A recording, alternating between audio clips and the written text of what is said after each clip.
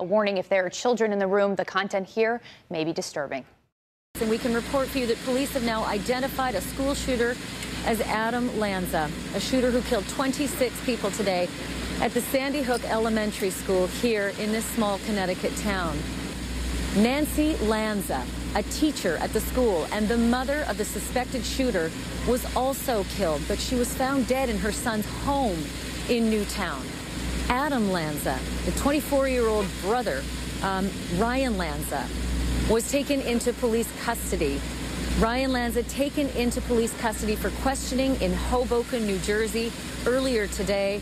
Officials have not labeled him a suspect, but he was taken away in handcuffs. His brother Adam died at the scene, but police are not saying at this point if he killed himself. Police did uh, did say that they did not discharge any of their weapons, and yet he was dead on the scene. A law enforcement source is also telling CNN that the shooter in this horrible tragedy was dressed in, quote, black battle fatigues and a military vest. The principal of this school, Dawn Hochsprung, was also among the dead. The school psychologist also killed in this shooting rampage in black military fatigues and a military type vest. We also know that they discovered at least three weapons on the scene, two handguns, and in fact, uh, what a Glock, right, um, a, Glock. a Sig Sauer, and a Bushmaster 223. Exactly. Now the Bushmaster 223 is a semi-automatic weapon, and uh, we have pictures of that to show you the type of weapon it is, not the weapon in question, of course. But now we have yet to find out, for example, where those weapons came from. Were they legally purchased? Were they stolen? To whom were they registered? Where did they in come fact, from? In so fact, we've had some breaking news just in the last uh, while um, that, in fact, those weapons, at least I believe two of them, were registered uh, to the mother. Nancy Lanza. It's a very distressing detail, but it is indeed. at least two of those weapons uh, in fact, let me let me change that. At least three of the weapons registered to Nancy Lanza. And of course, her body was found at a residence right here in the area. Um, this like is an odd, an odd development because it Susan is. and I have been trying to piece together uh, when the police said that the shooter killed someone he lived with and then we've now found out that Nancy Lanza was found in her son's home. Exactly. Putting two and two together, you'd want to come to a conclusion, but they are not releasing and it, and it, may very well be the mother's home. When they say the suspect's residence, well, it may be very well be where both of right. them live together. And so that again makes one wonder, well, what prompted all of this? Was there something going on? It's, it's hard not to speculate. The confusion as well, um, Susan, throughout the day, the name Ryan Lanza was being reported um, fast and furiously. This is the brother who was taken away in handcuffs from the apartment in Hoboken for questioning, not under arrest and not a suspect. That's right. But for a long time, people were suspecting that Ryan Lanza might be the shooter, not the shooter, according to police. That's right. There was conflicting information even among law enforcement authorities for hours now. Uh, finally, it seems to be sorted out that, in fact, it is Ryan, as you said, who was led away for questioning, not considered a suspect, uh, but they wanted to find out what, what they could about his brother. Do we and know it, anything uh-huh. about this family? I mean, police have said that apparently Adam Lanza uh, did not have a criminal record, and yet this is one of the most horrific crimes perpetrated in the most horrific way. Do we know anything else about the, the family dynamics? Well, we have been learning more about uh, a bit about the brother, Adam, the shooter in this case, but um, we are still trying to get that confirmed with additional sources before we put that out officially. But we do know, for example, that the, the father of both of them uh, is uh, was divorced from Nancy Lanza, the school teacher, and the, and the boy's mother. And did not live at this residence. Uh, the father did not live at this residence, but in fact he has remarried and does live in this area of, of, of Newtown, Connecticut as well. Um, this has become a multi-state investigation. Police were searching a home in Hoboken, New Jersey earlier on today and ultimately took 24-year-old Ryan Lanza in for questioning. He was handcuffed as they led him away. He is believed to be the brother of the suspected shooter. They are not saying at this time he's a suspect in anything, just that he's uh, wanted for questioning. My colleague John Berman is live in Hoboken. Tell me exactly what the police think any connection might be and why he would have been handcuffed, John. You talked about that picture we saw earlier of Ryan Lanza being led from this apartment in handcuffs. He was taken in for questioning. Also, CNN has learned taken in for questioning two roommates, apparently, of Ryan Lanza. Brought in for questioning. They are not believed to be connected in any way uh, to the suspect.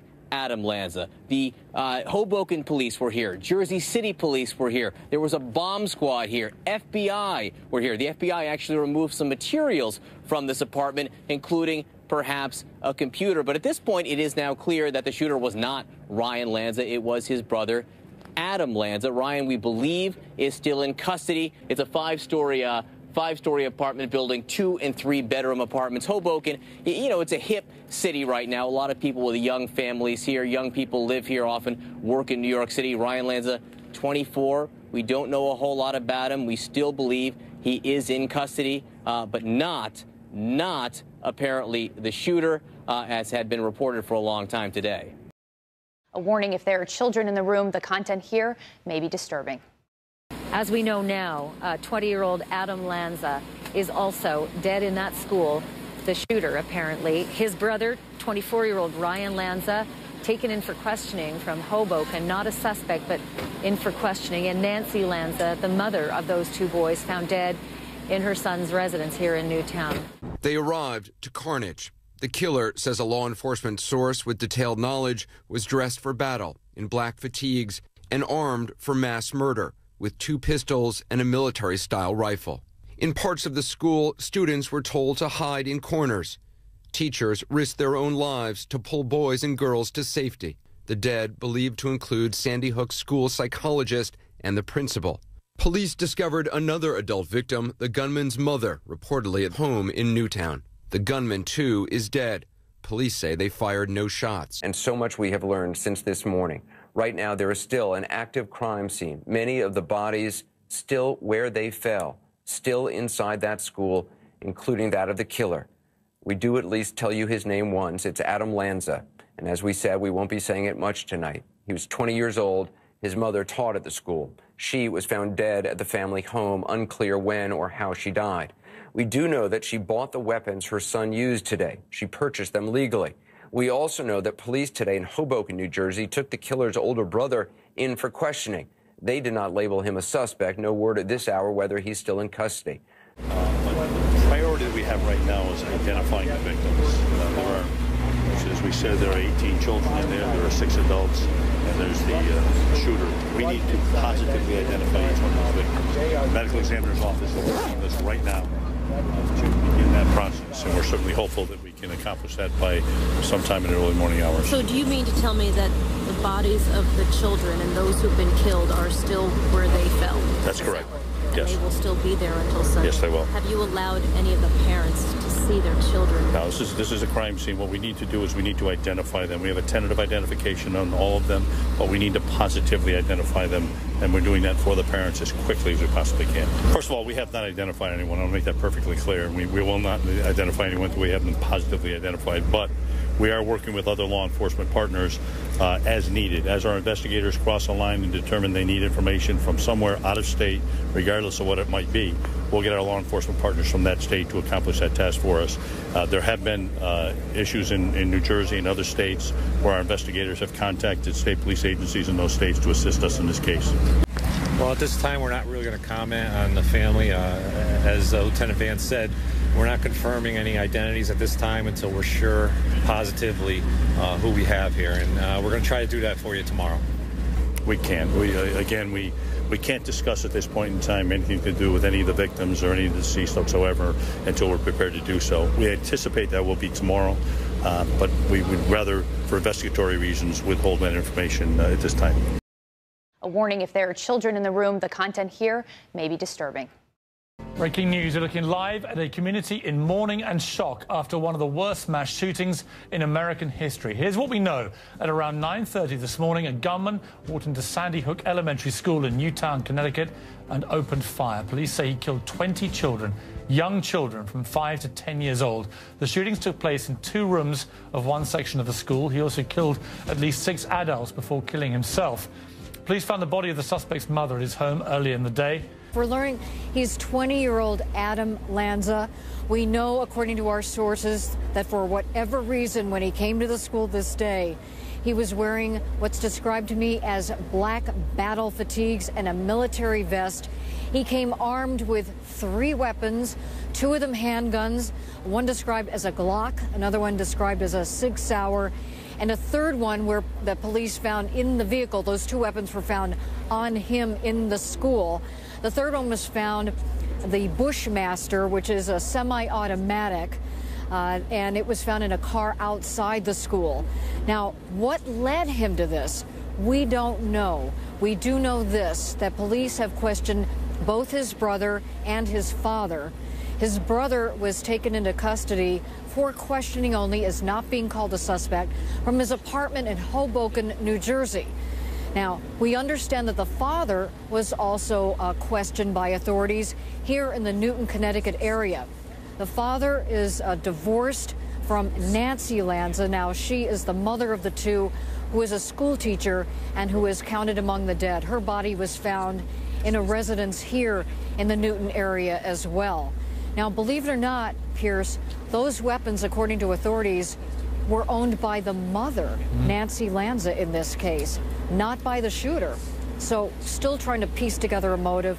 There are signs we are hearing from our sources that the shooter may have suffered from some kind of personality disorder. Uh, I, I, had the uh, honor of working in the same, same school system and, and very close proximity to Dawn, uh, who passed away today. Uh, she was a teacher in the Danbury Public School System and then elevated up through the ranks and eventually ended up a principal here in Newtown. And tonight, police have identified the killer as Adam Lanza. This is his brother, Ryan Lanza, being taken into questioning today. We'll have much more on the shooter ahead. I received a call from the school system, from the superintendent, saying that there was a shooting in Newtown, but didn't say that it was a school, but that the schools were on lockdown. So I wasn't too concerned because um, I didn't know where it happened. And then I received a text on my phone from uh, a news organization, and they said that Sandy Hook School, um, there had been a shooting.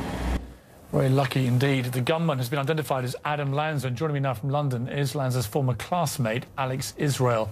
Uh, Alex Israel, thank you for joining me. Uh, you knew uh, this character. Is this something that you could have ever predicted that he would one day flip and do something as monstrous as this?